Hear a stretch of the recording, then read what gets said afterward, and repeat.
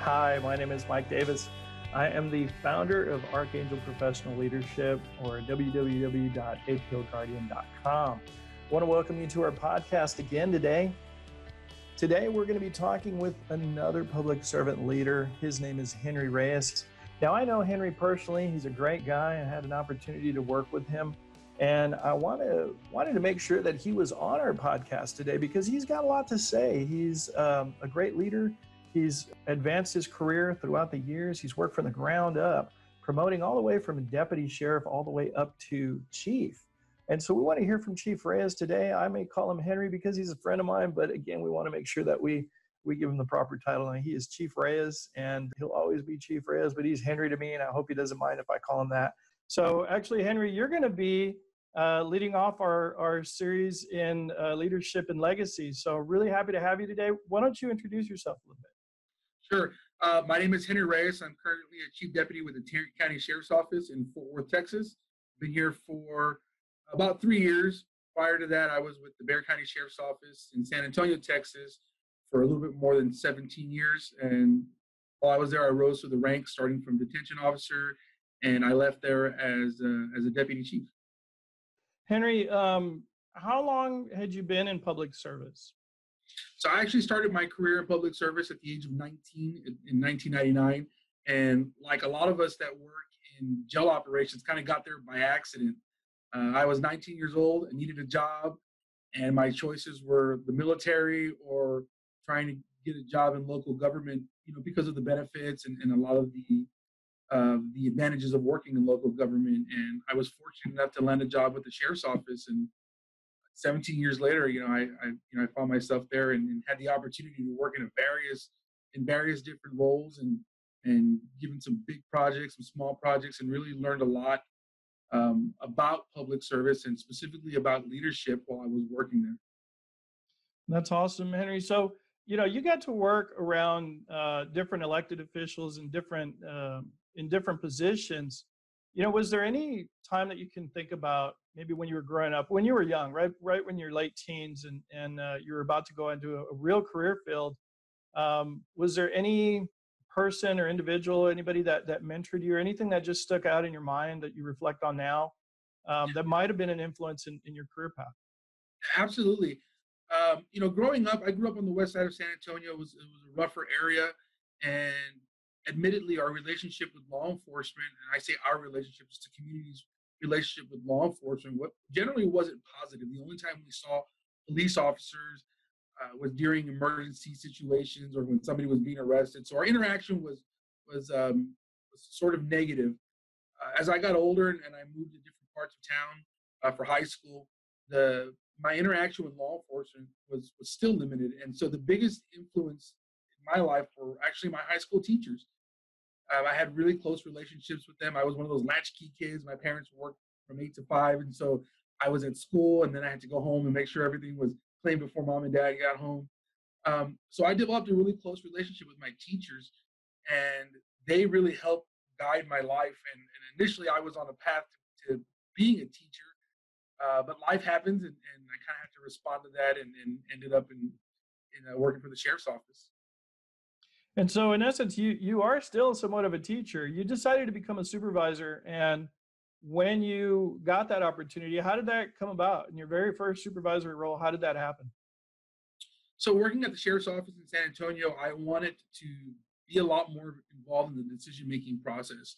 I was happy with the jobs that I had in the role in the agency, but I, I wanted to be involved. I just had the, the natural desire uh, to constantly learn and grow as an individual and as a professional. And and like I said, wanted to be involved in in the day to day operations as far as decision making goes.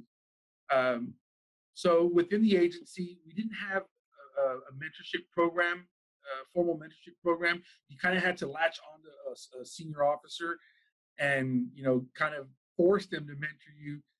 Um, and the recommendations I got were if you wanted to be involved, um, try to promote. You know, if you wanted to be uh, part of the solution, then promote and and you have I guess your voice is a little bit more heard and, your span of control, your span of influence is uh, extended. And so that was what I did in 2001, I believe. I took my first step and I promoted to corporal. Um, and then from there, I just started promoting every couple of years.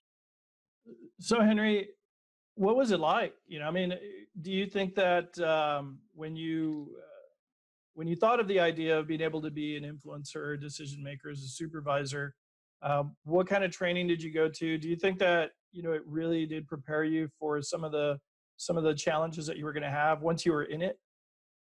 So, you know, the agency I was with before, there is a little bit of training that everybody has to go to in order to meet the criteria to test promotion.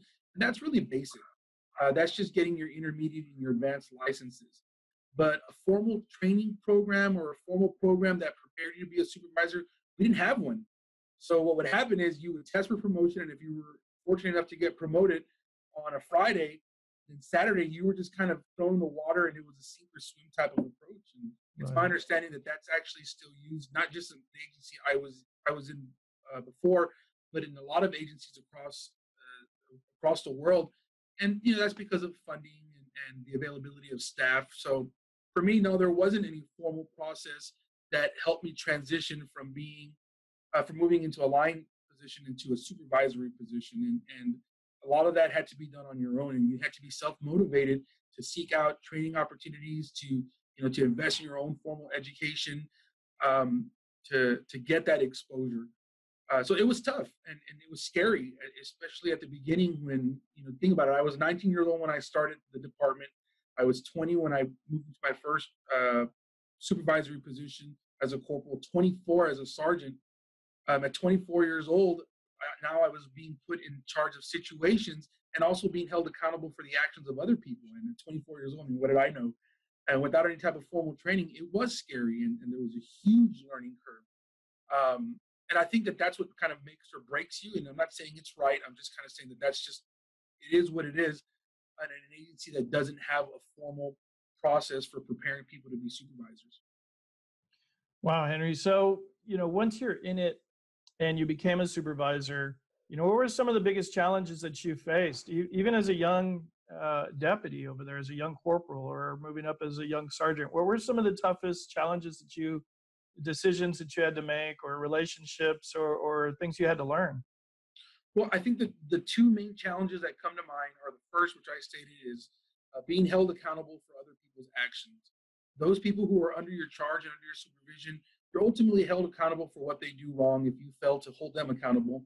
And that's tough, especially for somebody who's never been in a supervisory position. Um, and the other one really is kind of overcoming that the the different generations of employees that exist in law enforcement and in corrections and being somebody like i said with no formal training eh, as a supervisor and at that time i had limited formal education um, but overcoming that those generational gaps. Think about it. 24 year old sergeant. I'm supervising people who had worked for the department longer than i'd been alive. And so now they're taking and i've heard it before they're taking orders from this kid who has a different pace has a different understanding of the world, has a different view of the world, different view of operations. And so with and so trying to find a way to adopt a style of leadership or even be flexible across different styles of leadership to to respond to the different generations was was really tough. And that's something that I that I struggled with for a number of years. Um, and you know, thankfully I was successful in in you know understanding how to work with generational gaps and and different styles of employees. But I attribute a lot of that to formal education and then outside training that I sought either, you know, in, sought on my own or that my my agency eventually invested in after I had been in a, in a supervisory position for a while. Right, and so you mentioned training, and and that's real important right now. Is is um, focusing on training, especially from an administrative perspective, to developing new leaders you've been through a lot of formal training and congratulations because i know that you are a recent alumni of the uh, elite fbi national academy. There's my you can kind of see my brick back here my yellow I, brick. I can see it. You're in the yellow brick so congratulations for that. But um, you know throughout uh, a lot of the training programs um, what were some of the i mean what are some of the training recommendations that you would recommend? Are there any books or any anything that maybe a line officer somebody who's coming into the career field might uh, be able to invest without maybe going to the FBI National Academy. Yeah. And obviously, if they get an opportunity to go, it should be it, that's a great opportunity. Yeah, absolutely. I think you know reading reading is fundamental. It remains fundamental throughout your life and throughout your, your career, and especially in terms of professional and personal growth. And so you you, you had asked about what are some books. Um, the first, well, for me, it's the Bible. And so whatever whatever it is, whatever your spiritual beliefs are, you got it. That keeps you grounded. My my experience is that it keeps you grounded, and you should turn to your faith in times of need, and you know when you're going through stress. But it also gives you um, some perspective, great perspective on on being a servant leader. Uh, so if it's not the Bible, whatever whatever whatever your spiritual scripture is, that, that's what I would recommend. Number one. Uh, another book I would recommend is called Staying Well by Dr. Uh, Spinaris, and that is actually specific to corrections. And it's hard to find literature that deals with officer wellness that is specific to working in a jail or prison environment. Uh, so that's a great resource. It's a, it's a quick read. You can probably knock it out in one afternoon. Um, and then another one is uh, Strength Finder by Tom Ross. Uh, that one is, it doesn't just focus on leadership, but it focuses on understanding who you are as a person, which I think is fundamental to, to, to adopting a leadership style that, that really complements who you are already. Uh, there's also a lot of uh, resources online. One of the things that I like to do is are TED Talks. I like to listen to TED Talks, and I find um, TED Talks that deal with management, supervision, leadership, um, self development, and I'll listen to those in the car on the way to work or at home. Uh, but what I think is key is really to expand the areas that you're you're learning in, and not to just areas where you're comfortable, but look for areas that cause you to be uncomfortable. Because you know we all know that where comfort ends, growth begins, right? So if if you're only reading reading or learning about things that align with your personal beliefs, um, then you're not really growing. So I would challenge people to look for books and articles, magazines, podcasts, whatever they are, that go that are contrary to the your your the beliefs that you hold. Uh, you don't have to agree with who, the person who's on the other end of the video or the author of a book you're reading, but I think that taking time to understand or see their perspective in any situation, whether it's a social issue, um, a policy issue, really helps you grow as a supervisor and gives you a unique perspective on a number of, of uh, situations. It's fantastic, Henry. Thank you so much.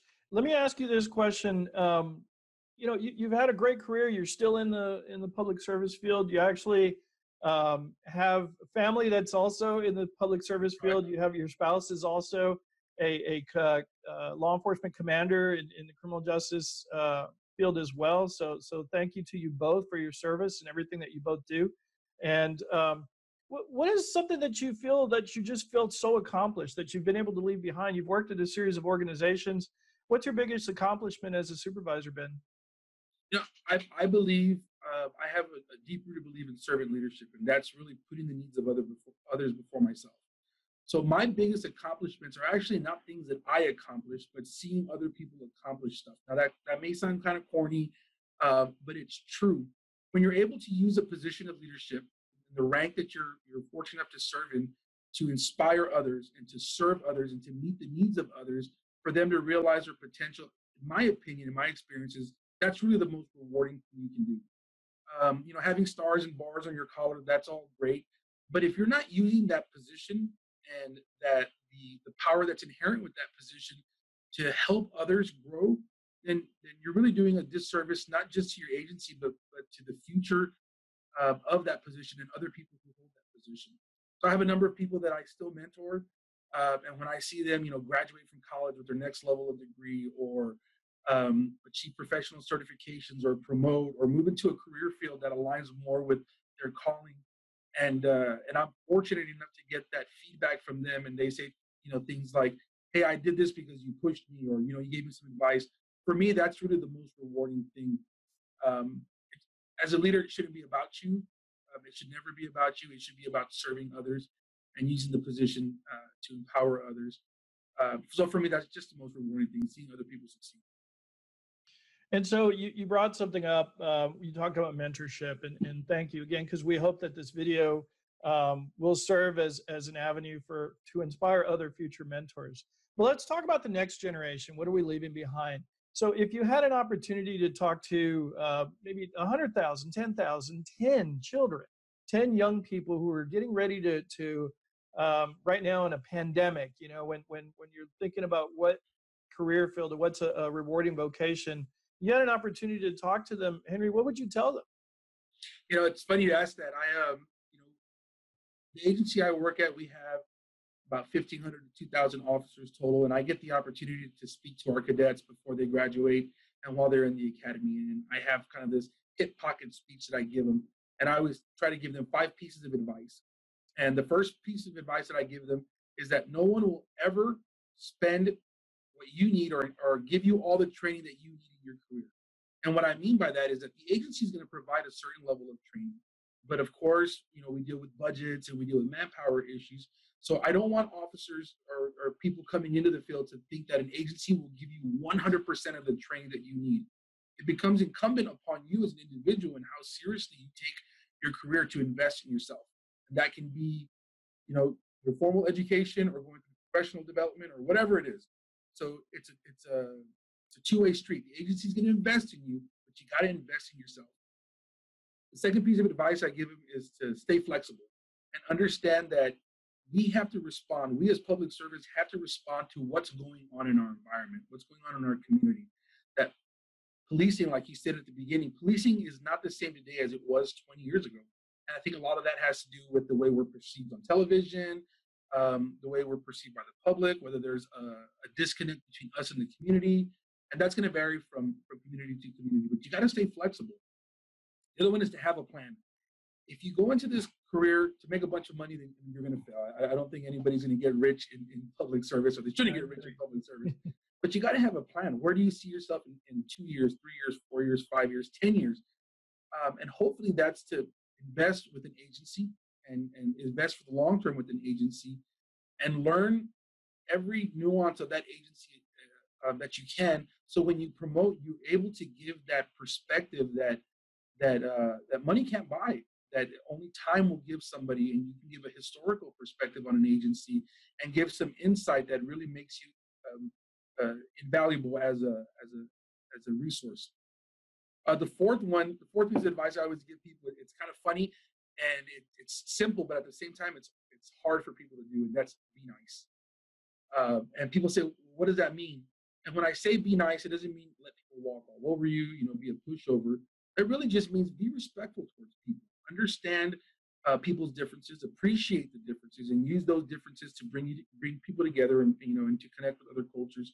But being nice is probably the easiest thing and the hardest thing at the same time that someone can do working in public safety, and especially in um, in a supervisory position. And the last piece of advice I always give people is is just to remember that there's no money back guarantee in leadership. And what that means is you can do everything right for someone. You can go out of your way for someone. You can bend over backwards for someone a hundred times. And you're going to run into instances as a leader and as a supervisor, as a manager, where people are still going to, you know, have you wake up with egg on your face. And what that means is that time that you invested, those resources that you invested, you don't get that back.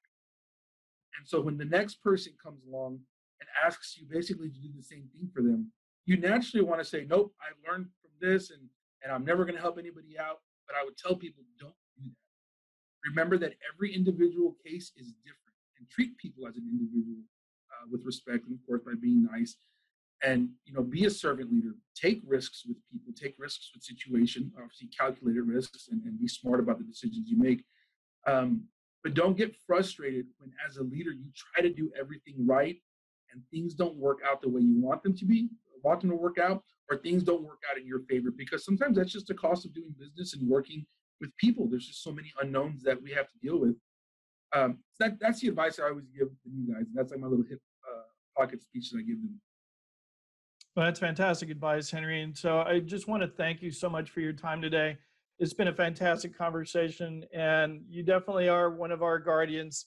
And we appreciate your service again, you know, to you and to your family. We hope that you're staying safe um, and we hope to get the word out you know to be able to to bring great leaders together to be able to collaborate and to mentor the future generation that's really what this this is all about in this project um, i use the word serviam and this, the word is uh, is is is biblical as you mentioned spiritual in that uh, our patron saint or our archangel is the archangel michael and he's the one who called out that he would serve and so our guardians serve and thank you because you are serving so we appreciate your time today.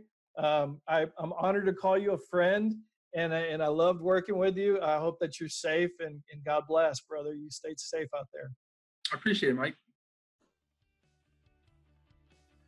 Well, once again, we want to thank our guest for joining us today. Really appreciate his time and his leadership and all that he had to say. So please come back and visit us on our website. That's www.aplguardian.com. We'll be updating our podcast. Check out our blog and participate with other guardians.